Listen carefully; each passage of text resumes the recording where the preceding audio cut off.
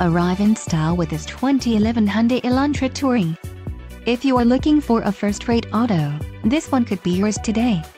This vehicle's top features include 138 horsepower horsepower, 2.0L-liter inline four-cylinder DOHC engine with variable valve timing, 4 doors, 4-wheel ABS brakes, air conditioning, clock, in radio display, external temperature display, front seat type, bucket, front-wheel drive and head airbags, curtain first and second row.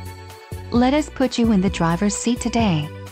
Call or click to contact our dealership.